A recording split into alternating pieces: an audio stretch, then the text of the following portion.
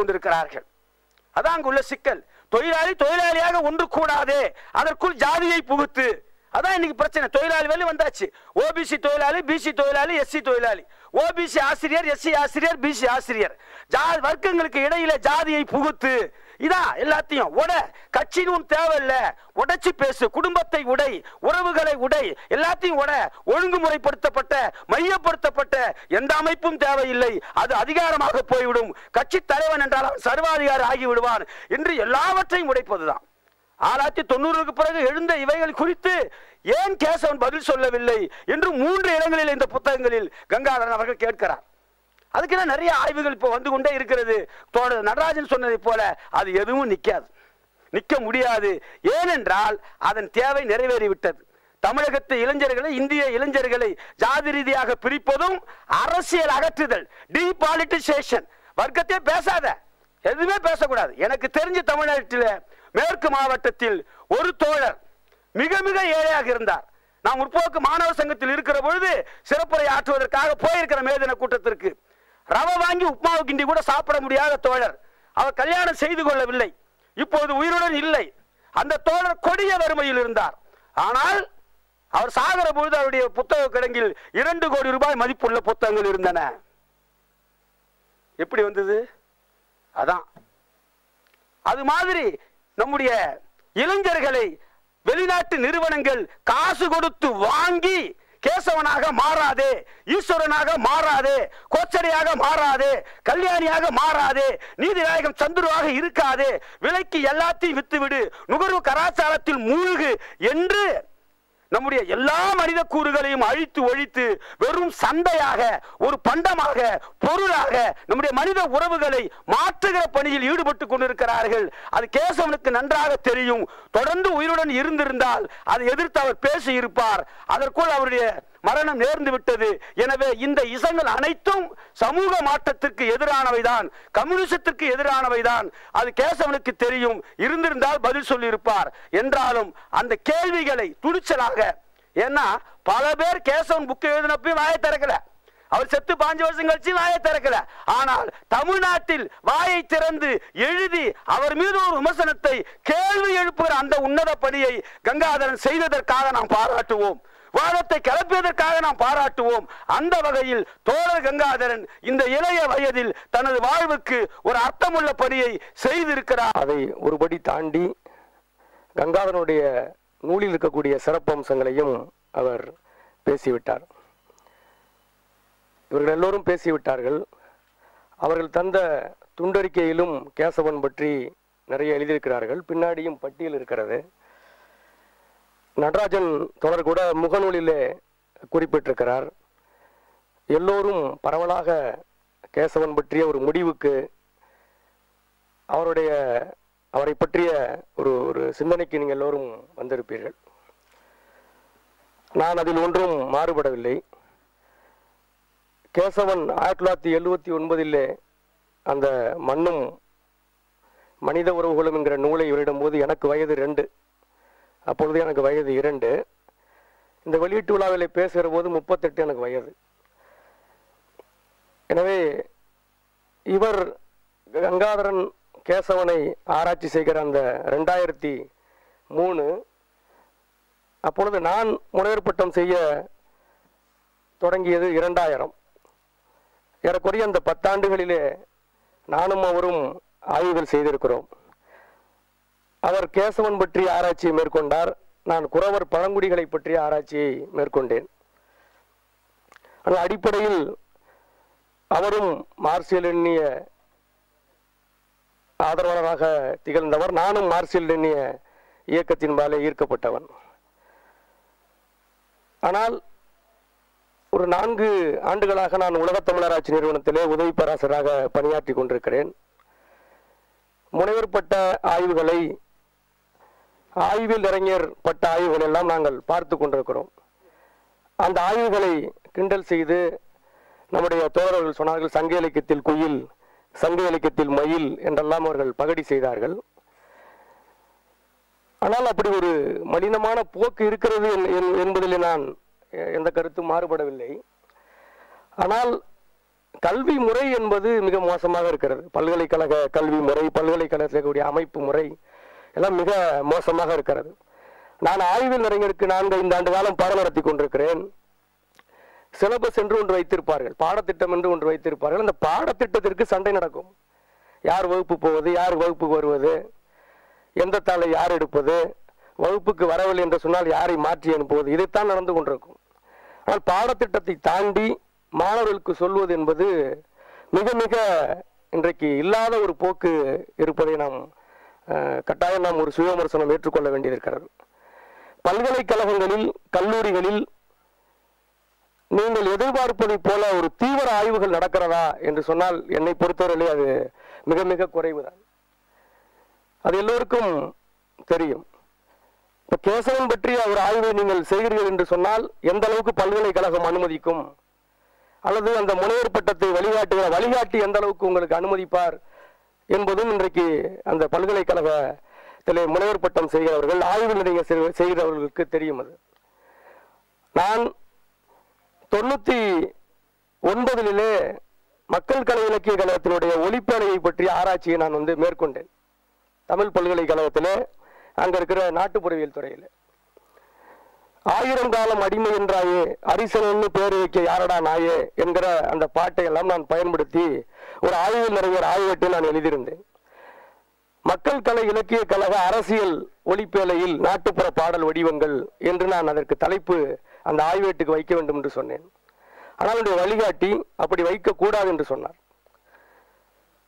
நான் இதற்கு ஏன் என்று சொல்லுகிறேன் என்று சொன்னால் பல்கலைக்கழக வட்டத்துக்குள் கல்வி புலத்திற்குள் இது போன்ற ஆய்வுகளை செய்வது என்பது மிகவும் சவாலான ஒன்றாக இருக்கிறது அல்லது அங்கிருக்கிற வழிகாட்டிகள் எந்த அளவிற்கு சமூக உணர்வோடும் புரட்சிகர உணர்வோடும் அவர்கள் இருக்க முடியும் என்று நீங்கள் நினைக்கிறீர்கள் மிக மிக மோசமான என்ன யாருன்னு தெரியவே தெரியாது நீங்கள் போய் கேளுங்க இன்னைக்கு உலக தர்மாட்சி நிறுவனமோ அல்லது பல்கலைக்கழகமோ போய் கேசவன் யாருங்க கேசவன் ஒரு ஸ்டூடெண்ட்லாம் இங்க அப்படிலாம் சொல்லுவாங்க கேசவன் யாருன்னு தெரியாது யாருக்குமே உங்கள் தலைமுறைக்கு தெரியும் அது யார் சொல்லி கொடுத்துருக்குறா கேசவனை பற்றியோ கைலாசபதியை பற்றியோ வானமாமலையை பற்றியோ பெரிய எந்த அளவுக்கு அங்கு வந்து வழிகாட்டிகள் புரிந்து கொண்டு வழிகாட்டுகிற மாணவர்களுக்கு சொல்லித் தருகிறார்கள் மிக மிக மோசமான அருவறுப்பான வெறும் பாடத்திட்டத்தை வைத்துக்கொண்டு மீண்டும் மீண்டும் வந்து அங்கே க வழிகாட்டுகிற ஒரு போக்கு தான் பல்கலைக்கழகங்களே இன்றைக்கும் இருந்து கொண்டிருக்கிறது அப்போ நீங்கள் என்ன செய்றீங்கன்னு என்ன கேட்டால் என்னை போன்ற ஒரு சில ஆசிரியர்கள் அங்கே அனாதையாக சோகமாக மற்றவர்கள் மத்தியில் கிண்டலும் கேலிக்கும் ஆளாகிற ஒரு ஆசிரியராகத்தான் நாங்கள் இருக்கிறோம்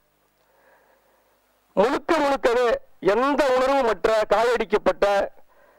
சுயநிலைமைகளாகத்தான் தொடர்ந்து பல்கலைக்கழக ஆசிரியர்கள் மத்தியிலே இதெல்லாம் நடந்து கொண்டிருக்கு அதை தாண்டி விதிவிலக்காக பல்வேறு ஆய்வுகள் இன்றைக்கு வருகிறது என்பதை நீங்கள் வந்து மனதில் கொள்ள வேண்டும் அயோத்திதாச பண்டிதரை பற்றி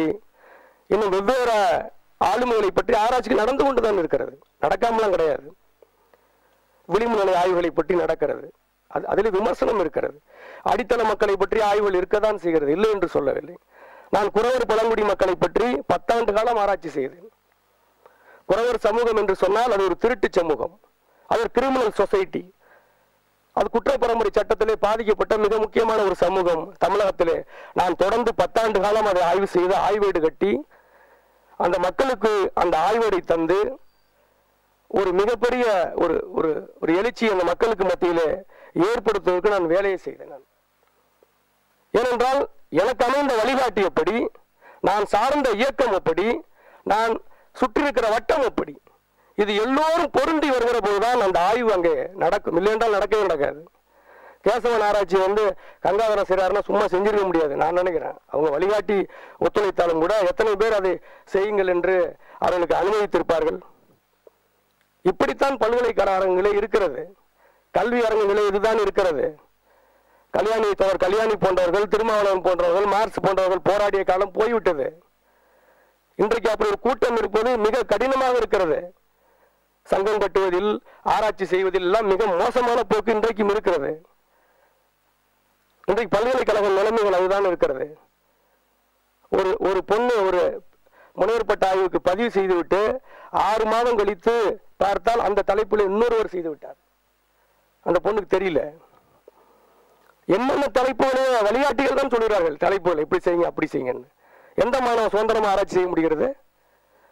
பி ஏ கிருஷ்ணன் வந்து ஹிந்து பத்திரிகையில் ஒரு கட்டு எழுதுகிற போது ஆண்டாள் பற்றி ஒரு பெண் ஆராய்ச்சி செய்ததற்கு அந்த வழிகாட்டியை திட்டியிருக்கிறார்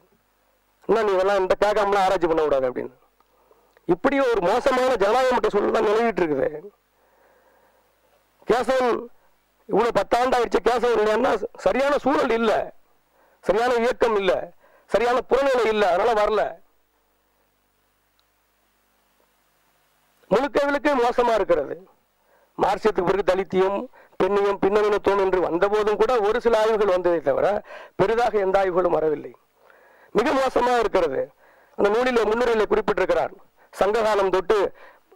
வந்து கம்பன் பாரதாசன் என்றுதான் ஆய்வுகள் இருக்கிறதே தவிர கேசவன் பற்றி ஆய்வு வேலை இல்லை கேசவன் போன்ற திறனாய்வாளர்களுக்கு பஞ்சம் இருக்கிற பஞ்சம் இருக்கிறதான் தோமசியை பற்றி ஆய்வு இல்லதான் வாரணாமலை பற்றி ஆய்வு இல்லதான் சிவத்தம்பியை பற்றி ஆய்வு இல்லதான் இல்லைன்னா இல்லை இல்லை செஞ்சிருக்கிறாங்க சிவத்தம்பியை பற்றி டெல்லியிலே ஒரு மாணவர் ஒரு ஆராய்ச்சி செய்திருக்கிறார்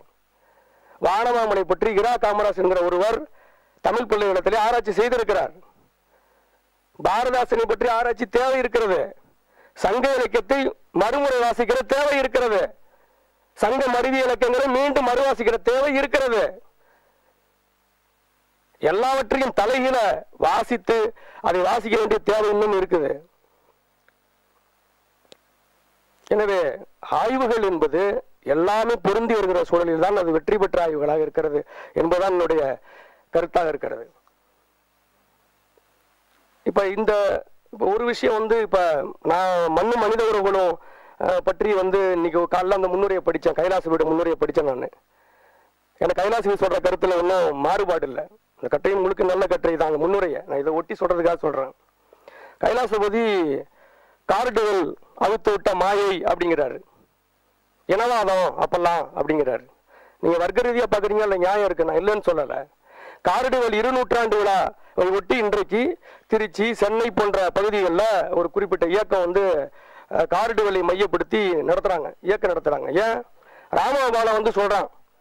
ராமகோபாலம் வந்து இந்த யூனிவர்சிட்டிக்கு இப்படி பேர் வைங்க இப்படி ஒரு பேரில் வந்து விருது கொடுக்காதீங்கன்னு ராமகோபாலம் சொல்கிறான் எல்லாம் மிஷினரிஸ் மிஷினரியோட சதிங்கிறான் அப்போ அதை ஒட்டி நிறைய கருத்தரங்கத்தை நடத்துகிறாங்க காரடுவல் வந்து மொழியினுடைய தனித்துவத்தை பேசினவன் பாதிரியார் தான் மிஷினரி தான் இல்லைன்னு சொல்லலை இப்போ டாரடுவல் வந்து கட்டவிழ்த்தோட இனமாயின்னு சொல்கிறாங்க வர்க்க ரீதியான அரசியல் சரிதான் நான் அந்த அமைப்பு பின்புலத்தில் இருக்கிறேன்னா டாரடுவல் இன்னைக்கு தேவைப்படுறாரு எப்படி கேசவன் தேவை டாரடுவல் தேவைப்படுறாருல்ல இப்போ கைலாசபதி வந்து அவர் எழுதுறாரு இன மாயை இனவாதத்தை கட்டு விட்டு கட்டவிழ்த்து விட்டார்கள் பாதிரிமார்கள் சொந்த சகோதரர்களையே பிரித்து வேலை செய்ய விட்டார்கள் ஆரிய திராவிடம் என்பது மாயங்கிறார் சரி மாய யார் வந்து வந்து அண்ணன் தம்பியா மோத விட்டது யாரு பார்ப்பருவமா நீங்களா யார் அண்ணன் தம்பியா மோத விட்டது வடவர் தென்னவர் பார்ப்பனர் பார்ப்பனர் அல்லாதவர் இப்படின்னு மோத விட்டது யார் இப்ப சங்ககாலம் வந்து பொற்காலம் அப்படிங்கிற மாயை வந்து கேசவன் உடைச்சாருங்கிறீங்க இது திராவிட இயக்கம் வந்து திராவிட இயக்கத்தினுடைய இது அது மாயை அப்படிங்கிறோம் சரி இருக்கட்டும் நியாயம் வெறும் சங்ககாலம் பொற்காலங்கிறது மட்டும்தான் விஷயமா அதை தாண்டி சங்க இலக்கியத்துக்குள்ள வேற விஷயமே இல்லையா இன்னைக்கு சங்க இலக்கியத்தையும் தொல்காப்பியத்தையும்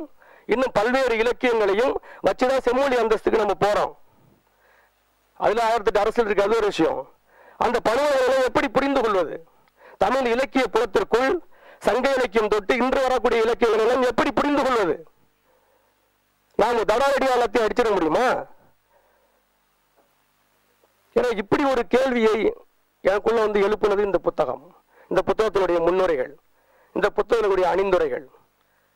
இந்த புத்தகத்தில் இது நல்ல புத்தகம் அதில் மாற்று கருத்து இல்லை இதனுடைய ஆய்வு முறைகளிலும் எனக்கு மாற்று கருத்து கிடையாது ஆனால் ஒரு முனைவர்பட்ட ஆய்வேட்டினுடைய ஒரு பாதிப்பு இந்த நூலில் இருக்கிறது இவர் இதை நூலாக்குகிற போது மீண்டும் ஒரு வாசிப்பு செய்து இதை கொஞ்சம் செப்பப்படுத்தியிருந்தால் இன்னும் தீவிரமாக இருப்ப ஏன் சொல்றேன் அப்படின்னா கேசவன் உடைய படைப்புகள் மடின பதிப்புகளாக இந்த அரசாங்கம் செய்யுமோ செய்யாதோ அது நாட்டுடைமை செய்ய வேண்டிய படைப்புகள் கேசனுடைய படைப்புகள் தெரு தெருவாக பல்கலை பல்கலைக்கழகமாக கல்லூரி கல்லூரி